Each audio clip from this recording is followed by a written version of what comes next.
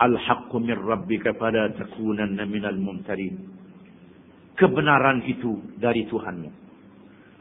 Kebenaran itu dari Tuhanmu.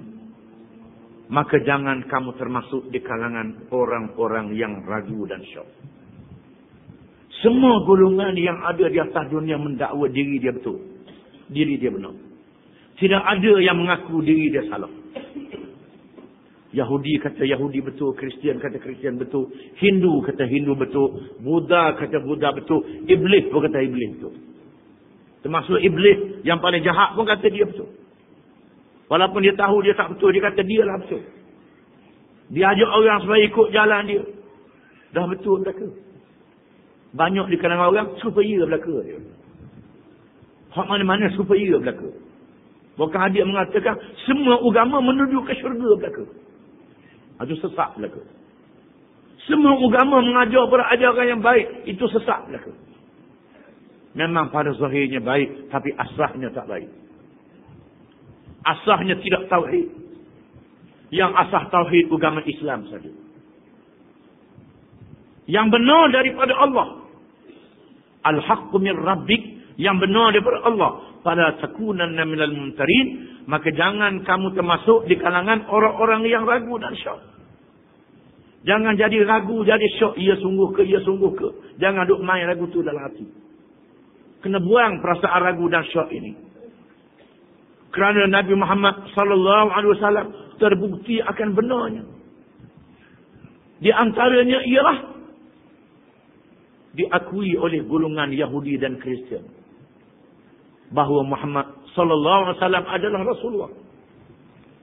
Di antaranya ialah Al-Quranul Karim yang menjadi mukjizat sehingga hari kiamat. Sehingga hari ini tidak ada siapa yang boleh boleh tulis buku macam Quran. Yang boleh boleh tulis satu ayat macam ayat Quran. Tidak ada siapa yang boleh reka.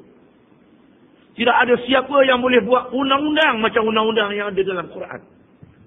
Kalau buat undang-undang yang lain, tak boleh selesai masalah.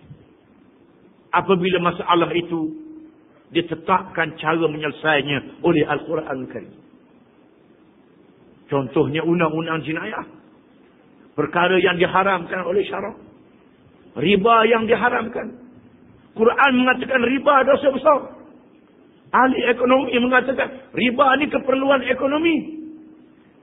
Maka berlakulah penindasan ekonomi. Melalui riba. Di antara negara, negara kaya terhadap negara miskin. Di antara orang kaya terhadap orang miskin. Di antara bank yang kaya dengan orang miskin.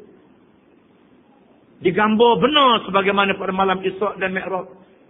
Laksana orang yang berenang dalam darah. Menunjukkan kezaliman riba. Hari ini, pemimpin-pemimpin agama Kristian yang keras dan ikhlas dengan agama. Ahli-ahli ekonomi barat mengaku riba adalah jinayah ekonomi yang sangat besar. Arak dan judi. Quran mengatakan haram arak dan judi. Merosokkan masyarakat. Merosokkan rumah tangga. Merosokkan kesihatan. Ini diakui oleh penyelidik-penyelidik yang bukan Islam. Undang-undang jenayah hudud kisos. Yang ditetapkan oleh Quran. Manusia reka buat undang-undang lain. Kodar jenayah menengkap dengan parah. Dengan banyak yang sangat membahayakan tapi degil juga sama ikut Al-Quran Al-Karim. Apa yang berlaku menunjukkan benar daripada Tuhan. Bukan saja dalam perkara kiblat, termasuklah dalam perkara yang lain. Makna kiblatnya tepat mengadap kita. Tepat mengadap kita kepada Allah Ta'ala. Apa makna tepat mengadap kepada Allah Ta'ala? Maknanya semua hukum kena hadap kepada Allah Ta'ala berlaku. Jangan hadap ala ke timur, ala ke Jepun, ala ke barat, ala ke mana-mana. Kena hadap ke kiblat. Kita duduk di mana pun, kena hadap ke kiblat. Kena hadap kepada ajaran Allah. Perintah Allah. Mengabdikan diri kepada Allah. وَلِكُلِّمْ وِجْهَةٌ هُوَ مُوَلِّيهَا فَاسْتَبِقُوا الْخَيْرَاتِ dan bagi tiap-tiap umat ada arah yang masing-masing menujunya. Oleh itu berlomba-lombalah kamu mengerjakan kebaikan. Tiap-tiap umat ada ada tuju dia. Di mana tempat tuju dia? Ada tempat mengadap. Ayat ini berkait dengan kiblat. Menghadap kiblat. Dia antara menghadap kiblat itu menghadap kepada Allah Ta'ala.